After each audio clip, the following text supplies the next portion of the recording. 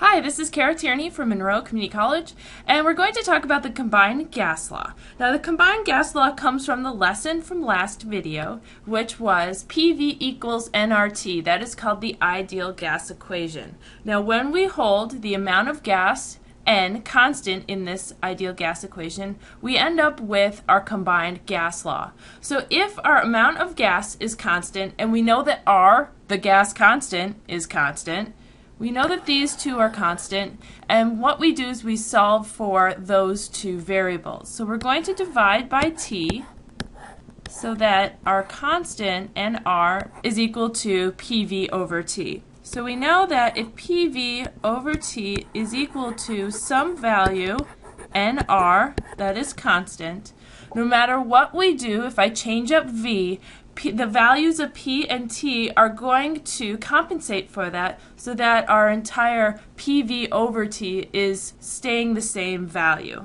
Because of this, we get the combined gas law. P1 V1 over T1 equals P2 V2 over T2 uh, where all of our values on the left side with the one subscript, this is the initial values of our pressure, volume, and temperature. And then if we change some of those values at the end, our final conditions are on the right side with the subscript of 2. So when do you use this equation? This is a question I get a lot of times when students are confused whether to use the ideal gas equation or the combined gas equation. And the hint I have for you, take a look at these two equations. So let's go back, look at the equation at the top and the bottom. What uh, sets them apart? The first thing is the combined gas equation does not have moles incorporated into it. So if you're given moles, you know that you're not going to be using the combined gas equation. Second, if you have a variable that changes values, you know that you're going to be using the combined gas law. So if you have a temperature that changes values, or pressure or volume, if you're given two different values for that variable, you know you're going to be using the combined gas law. Now we can use the combined gas law to derive equations for some of the gas laws that we talked about in class earlier this week. And one of those is Boyle's law. So Boyle's law is the combined gas law where we also hold temperature constant. And what we get if we look at our combined gas law, if we hold temperature constant, that means T1 and T2 are equal to each other. So what we can do is just cross those variables out of the equation and we're left with P1V1 equals P2V2. This is called Boyle's law. So you can derive Boyle's law, the equation for Boyle's law, from the equation for the combined gas law.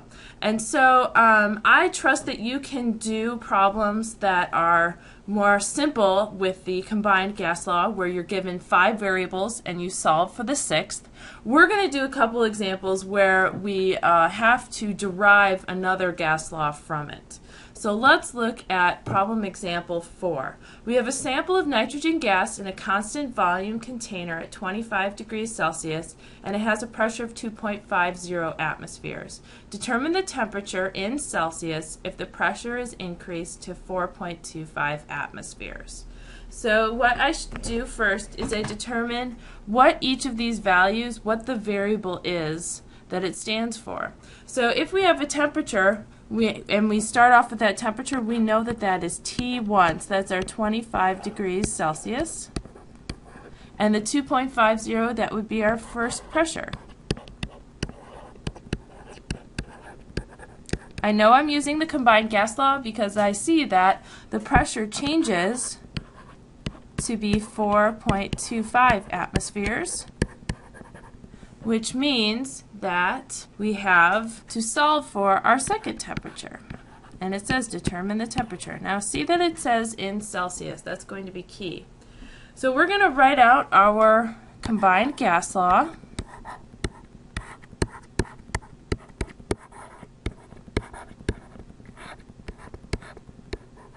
And I know that right away in all gas problems, temperatures need to be expressed in Kelvin. So let's just do that right now. I'm going to convert temperature 1 to Kelvin by adding 273.15 and this is equal to 298 Kelvin.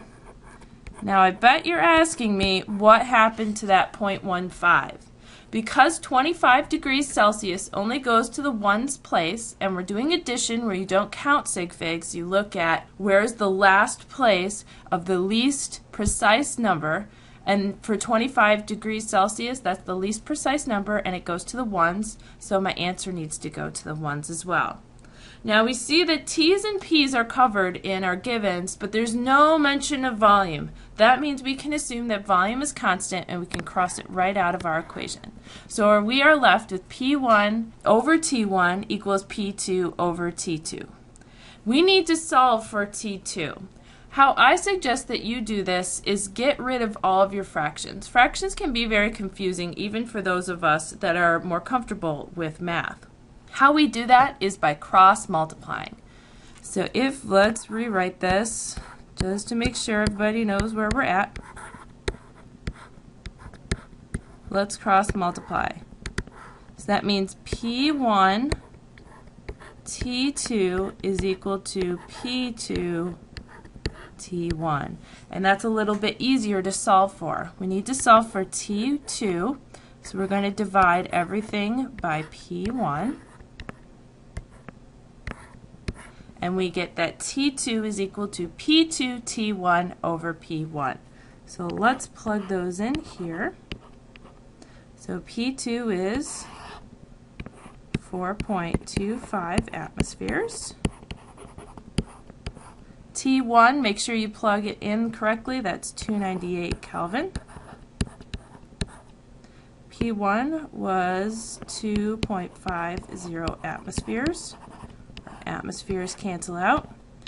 And looks like we need three significant figures. So when you calculate this, you should get 507 and our unit is Kelvin. Make sure you're paying attention to the units because it asks for Celsius, which means we're going to subtract 273.15 but because our 507 only goes to the ones place, we're going to round our answer to the ones place, and you should get 234 degrees Celsius. Now, if you got 233, that means you probably didn't round at 507, and that's okay. Uh, we can vary in our last digit, and that's perfectly acceptable in the scientific world. So what I want you to do is try problem example 5. See if you can get a good start on this. It's very similar to the last one we just did. And see how far you get. Press pause as you're doing this, and then press play when you think you have an answer or if you get stuck, and I'll show you how to do it. So we're going to do very much the same thing. We're going to determine what variables are given to us. It looks like we have two temperatures. That means temperature 1 is 35.1 degrees Celsius. Volume 1 is 1.00 liter. Temperature 2 is 25.6 degrees Celsius. And it looks like we're solving for volume 2. Okay, so first thing we should do, let's take care of our temperatures. So, temperature 1 Let's add 273.15 to that. Same with temperature 2. Remember that we need to take into account our significant figures. Both of our temperatures were given to the tenths place, so we are going to round our answer to one digit after that decimal, to the tenths place. So our first temperature is going to be 308.3 Kelvin and our second temperature is 298.8 Kelvin. Now, here is our equation, P1 V1 over T1 equals P2 V2 over T2. What are we going to do with this? It looks like our pressure is going to be constant because there's no mention of it. So cancel out the pressures and we're left with V1 over T1 equals V2 over T2. What are we going to do to get rid of those fractions? Cross multiply. We are given then V1 T2 equals V2 T1. We're going to solve for V2, which means we need to divide both sides by T1. Cross out those T1s. So we have V2 is equal to V1 T2 over T1. That's 1.00 liters times, make sure you get the right temperature, V1 T2. So that means it's the 298.8 Kelvin. And that is divided by 308.3 Kelvin. Kelvins cancel out. And we, uh, let's see how many sig figs. Three significant figures. That gives us 0.969 liters. Now, does that make sense? Our temperature goes down. That means that our particles are moving a little bit slower. They're not going to take up quite as much room, so we should get a lower volume, which we did get a smaller volume, so that makes sense. So in our next video, we're going to mix up the ideal equation just a little bit more, and uh, I will see you in that video.